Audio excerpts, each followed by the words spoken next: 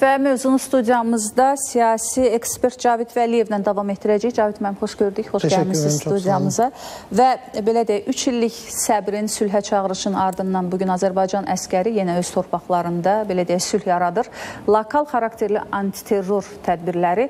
Əlbəttə ki, bu buna gətirən səbəblər var. Əvvəlcə istəyirəm ki, bununla bağlı sizin fikirlərinizi öyrənək. E, təşəkkür edirəm. Buna gətirən bir çox səbəb oldu. İlk gündən etibarən bilirsiniz ki, 10 noyabr bəyannaməsi imzalandıqdan sonra erməni tərəfi 10 noyabr bəyannaməsinin şərtlərini yerinə yetirməkdən imtina etdilər. Xatırlayırsınızsa, hətta Laçından belə çıxmalıydılar. Onu belə güclə çıxartdıq. Və ondan sonraki dövrdə onlar 10 noyabr bəyannaməsinin xüsusən daha çox diqqət çəkici maddəsi olan erməni silahlılarının bölgədən Azərbaycan Qarabağ iqtisadi zonasından çıxarılması maddəsini yerinə yetirmədilər. Hər dəfəsində ona bir bəhanə uyduraraq onları orada qorumağa, saxlamağa çalışdılar. Bir neçə gün bundan əvvəl Azərbaycan Xarici İşlər Nazirliyindən ətraflı açıqlama verildi. Orada nə qədər silah, tank, zirehli texnika, insan, silahlı insan haqqında ətraflı məlumat verildi.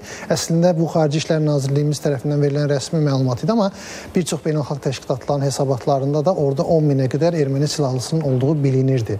Və bunlar buradan çıxmalıydılar, indiyə kimi çıxmadılar. Onlar çıxmadığı kimi, onlar eyni zamanda bölgədə Azərbaycanın yenidən qurma fəaliyyətlərini, insanların, mülki əhalinin öz torpaqlarına qayıtmasına mane yaratmağa çalışdılar. O da yetmədi və Azərbaycan torpaqlarına, işğaldan azad olunmuş torpaqlarımıza daxil olaraq minalar döşədilər və Azərbaycan mülki əhalisini, polisini, ordu mənsublarını, hətta jurnalistlərimizi xatırlayırsınızsa, onlar Bəli. şəhid etdilər və onların əsas hədəfi var idi.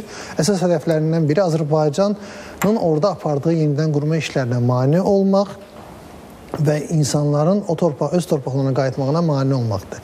Sonuncu hadisədən sonra polislərimizin Füzuli Əhmədbəyli Şuşa yolunda Bəli. şəhid olmasından sonra Dövlət Təhlükəsizlik Xidməti bunu terror hadisəsi adlandırdı. Bu təsadüfi deyil. Çünki onların bir siyasi hədəfi var idi və siyasi hədəflərinə çatmaq üçün onlar şiddəti vasitə olaraq istifadə edirlər. Biz yeri gəlmişkən e, şəhid olan polislərimizi Bəli. ekranda görürük və o terrorun e, dəhşətli izlərini görürük. Yəni e, təəssüf ki, Bəli, sülh əvəzinə mina, mina terroru idi. Onlar Azərbaycanın bu dəfə də səbrini sui-istifadə eləməyə çalışdılar və nəticədə aldıqları cavab oldu. Amma başqa səbəblər də var. Əlbəttə ki, xatırlayırsınızsa, Azərbaycan tərəfi beynəlxalq səviyyədə keçirilən görüşlərdə bir qərar alınmışdı ki, Bəli. Qarabağ erməniləri, Azərbaycan vətəndaşı olan Qarabağ erməniləri ilə müəyyən danışıqlar, reinteqrasiya prosesi başlatılsın. Bu çərçivədə cənab prezident nümayəndə də təyin edildi. Hətta Xocalıda ilk görüş də keçirildi. Daha sonra biz onları dəvət etdik Bakıya, Yevlağa gəlsinlər, görüşək, problemləri, dərdləri nədirsə reinteqrasiya üçün bu məsələ həll olunsun. Hətta cənab prezident açıq elan elədi ki, biz oradakı e, ermənilərə amnistiya verməyə də, bağışlamağa da, af qərarı çıxartmağa da hazırıq. Təəssüflər olsun ki, onlar e, xaricdəki qüvvələrin dəstəyi ilə, Ermənistanın dəstəyi ilə, müəyyən provokativ qüvvələrin dəstəyi ilə buna getmədilər. Elə düşündülər ki, Azərbaycan Azərbaycan kimdənsə çəkinir, bu əməliyyatları hər yerinə yetirə bilməyəcək. Amma biz əlbəttə ki bir e, normal rasional bir dövlət olaraq, praqmatik bir dövlət olaraq bir tərəfdən diplomatik görüşmələrimizi davam elətdirirdik. O məsələnin dialoq yolu ilə, praqmatik yolla həll olunmasını, diplomatik yolla həll olunmasını istəyirdik. Amma digər tərəfdən də hərbi hazırlıqlarımızı da görürdük. Yəni bu son 3 il ərzində o ə, e, Rusiya sülh məramlarının yerləşdiyi regionun ətrafında bütün strateji yüksəkliklər Azərbaycan ordusunun nəzarətində idi. Azərbaycan ordusu e, həm hərbi texnologiya gücü baxımından, həm kəşfiyyat baxımından, həm hərbi güc baxımından 2-ci Qarabağ müharibəsindən əvvəlki dövrə nisbətən çox daha güclü idi və çox daha geniş, ətraflı məlumata, dərin məlumata sahib idi və bu gün keçirilən hərbi əməliyyatdan da biz bunu görürük. Və biz hərbi əməliyyatların yeri gəlmişkən kadrları gedir fonda. Bəli, Dəqiq, bu, sərrast ə, e, atışlarla yalnız legitim hərbi, hərbi hə- hədəflər. Bu, bu Azərbaycan ordusunun hər bir ordunun legitim hədəfidir. Sadəcə Azərbaycan, yəni Azərbaycana aid deyil, dünyada hər bir dövlətin ərazisindəki qeyri-qanuni silahlı birləşmə legitim hədəfdir. Bu qəbul edilməzdir. Bu olmamalıdır. Bunu Ermənistan da yaxşı bilir. Bunu Ermənistanı dəstəkləyən qüvvələr də yaxşı bilir, amma onlar zənn eləyirlər ki, bu şəkildə təzyiqlər göstərərək Azərbaycanın qarşısına maneə yarada biləcəklər. Amma Azərbaycan ordusu əlbəttə ki, bu 3 il ərzində öz hazırlıqlarını gördü, hərbi gücünü artırdı, Bəli. komanda birliklərini, xüsusi təyinatlarını artırdı, müdafiə sənə müdafiə texnologiyası sayəsində gücünü artırdı və biz görürük ki, artıq bunu həyata keçirmək çox asan bir şəkildə oldu və artıq bu müasir silahlara sahib olmaq bir də bizə bu üstünlüyü qazandırdı ki, mülki əhalinin olduğu yerlər vurulmur. Dəqiq olaraq Bəli, vurulur. Sizin sözünüzə qüvvət Cavit mən bu gün e, bütün e, medianın e, gündəmi təbii ki, Qarabağdakı lokal antiterror tədbirləridir və həmkarlardan birinin bir qeydi e, xüsusi diqqətimi çəkdi. Hərbi əməliyyat və diplomatiya eyni əskinasın iki yüzüdür. Əlbəttə ki. Milli maraqlar deyilən məqsədi təmin etmək üçün vaxt və şəraitdən asılı olaraq onlardan birindən istifadə olunmalıdır və bu gün Azərbaycan digər üzündən e, biz istifadə həm, etmək məcburiyyətindədir. Çünki sülh çağırışları təəssüf ki, heç bir nəticə vermədi. Əvəzində biz terror gördük, günahsız Əlbəttə. insanların qətlini gördük, mina tələsi hələ də Hətta mən sizə bir söz deyim, yəni biz onlara reinteqrasiya təklif etdik, biz onlara dialoq təklif etdik. Hə, beynəlxalq aləmdə də bunlar tələb olundu. Xatırlayırsınızsa, Brüsseldə keçirilən görüşdə, ə, Amerikada keçirilən görüşdə, ondan sonra ə, bunların hamısında Azərbaycanla Qarabağ erməniləri arasında birbaşa dialoq çağrısı da var idi.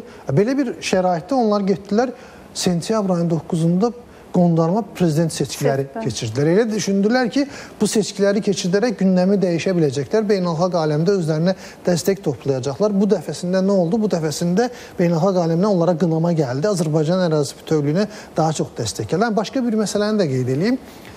Məsələ son bir il ərzində Azərbaycan Qarabağ bu Rusiya sülh məramlarının yerləşdiyi region ətrafındakı o e, çəmbəri daraldarkən Beynəlxalq aləmdə ədalət məhkəməsinə verdilər, təhlükəsizlik şurasına verdilər, amma heç bir yerdə onların istədikləri nəticə əldə olunmadı. Təhlükəsizlik şurasının iclasında Ermənistan Xarici İşlər Naziri çıxdı, sərt bir çıxış elədi və Azərbaycanın qınanmağını istədi, amma heç bir tələbi qəbul edilmədi. Eləcə də Ədalət Məhkəməsinin, Beynəlxalq Ədalət Məhkəməsinin qərarıdır. Bu səbəbdən bütün bunlar hamısı bunu göstərir. Bir, Azərbaycanın beynəlxalq aləm, beynəlxalq dünya buranı Azərbaycan ərazisi olaraq tanıyır. Bu Azərbaycanın beynəlxalq hüquq, bu əməliyyatlar Azərbaycanın beynəlxalq hüquqdan gələn haqqıdır, hüququdur. İkincisi, Azərbaycan son 3 il ərzində davam etdiyi bir diplomatik danışıqların nəticəsində bu hədəfə gəlib çatmışdır. Çünki bütün danışıqlarda Qarabağ Azərbaycan ərazisi olaraq tanındı və Qarabağ ermənilərini birbaşa Azərbaycanla danışıqlara davam etdirməyə çağırdı. E, Hikmət müəllim göstərdiyiniz açıqladı bəli administrasiyanın göz... şərti e, və əslində bu ciddi siqnaldır yəqin ki, konkret e, bəyanat var ki, tərk silah olmalıdır bəli, və sərbəst. Bu bu belə də olmalıdır. Yəni bunun yəni bunun başqa variantı. Başqa variant, bunun qanuni yolu budur. Hər bir dövlət bunu tələb, hər bir dövlətin bunu tələb etmək haqqıdır. Heç bir dövlət biraz əvvəl qeyd etdim ki, öz ərazisinə qeyri-qanuni nə silahlı birləşmə, nə qeyri-qanuni seçkilər tanıyar, nə onun mərkəzi hakimiyyətə tabe olmayan qüvvəni tanıyır. Cənab prezident həqiqətən də həm doğru, həm də hüquqi, qanuni bir açıqlama ilə dedi ki, kim Azərbaycan qanunlarını bəyənmirsə, Azərbaycanda yaşamaq istəmirsə, gedə bilər. Amma kim Azərbaycan? Bu hər bir dövlət üçün, yəni dünyanın hər hansı bir dövlətində, Avropasında olsun, Asiyasında olsun, o dövlətin qanunu tanımayan, şiddətdən istifadə edən, silahdan istifadə edən bir insanın əlini qolunu sallayıb çöldə gəzə bildiyini düşünə bilirsiniz? Belə bir şey qəbul olunmur. Hə, Azərbaycana gələndə kimlərsə ikili standart həyata keçirməyə çalışır. Biz artıq bunlara öyrəşmişik. Biz artıq ə, e, özümüz öz işlərimizi həll etməyə çalışmışıq, çalışırıq və bilirik ki, güc, hər kəs güclə hesablaşır. Hə, biz bu güc göstərişini qanuna, beynəlxalq hüquqa zidd bir şəkildə həyata keçirmirik. Qanunlar, beynəlxalq hüquq bizə hansı haqları, hüquqları verirsə, biz onları eləyirik. Bəzi dövlətlər beynəlxalq hüququ heçə sayır Ermənistan kimi. Azərbaycanın daxili işlərinə müdaxilə etməyə davam edirlər.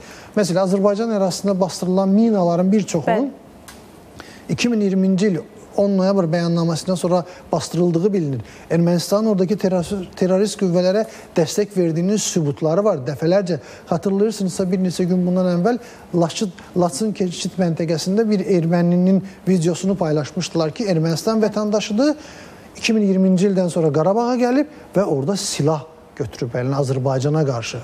Yəni bunlar heç bir dövlətin qəbul edə bilməyəcəyi bir e, addımdır və Azərbaycan dövləti bu gün tam beynəlxalq hüquqa uyğun bir şəkildə antiterror əməliyyatını Qarabağda icra edir. Çox Cahit müəllim və sonda tarixi ədalət e, qələbə çalır belə deyək. Təşəkkür edirik sizə. Gəldiniz, operativ suallarımızı cavablandırdınız. E, çox sağ olun və bir daha xatırlatmaq istəyirəm ki, studiyamızın qonağı siyasi ekspert Cavid Vəliyev idi.